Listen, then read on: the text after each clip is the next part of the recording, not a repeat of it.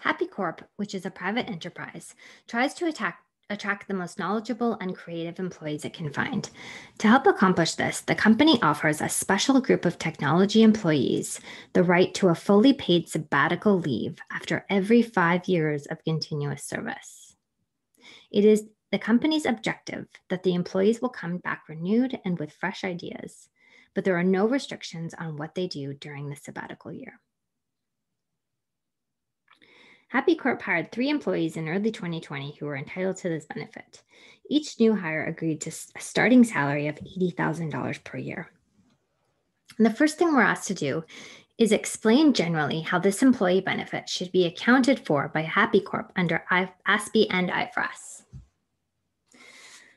Well, this benefit relates to a compensated absence. It's a defined benefit plan that is service related the benefit is earned by the, employee over a five year period and then vests in the employee. Under both ASPE and IFRS, the company should accrue the cost of the benefit and the related liability over the five years in which the employee obtains the eligibility for the benefits.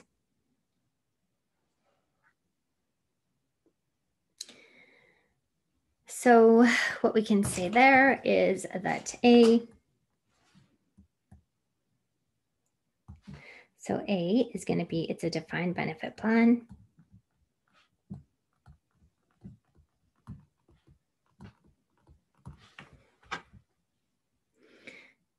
Um, the,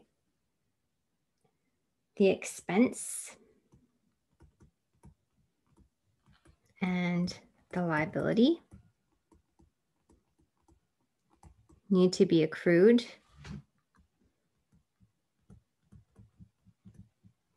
as the employees provide service.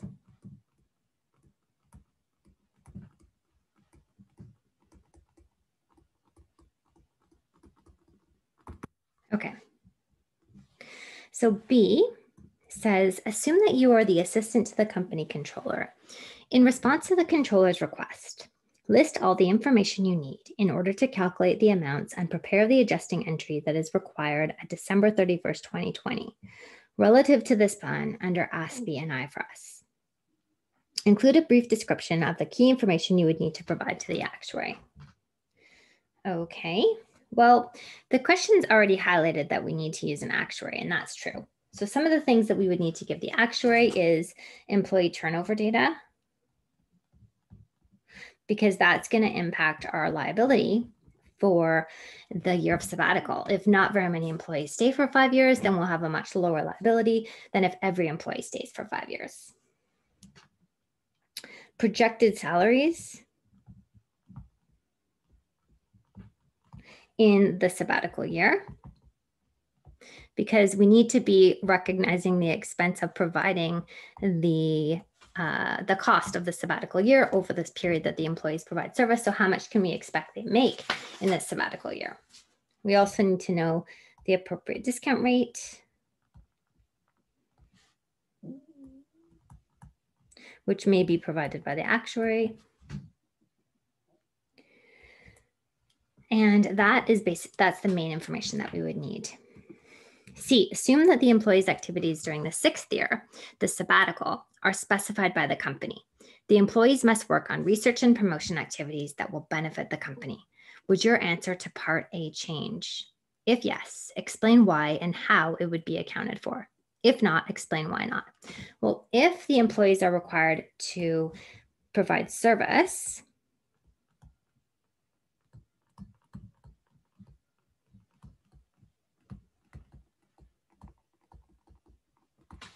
Just because they're doing something different, it's no longer a defined benefit plan.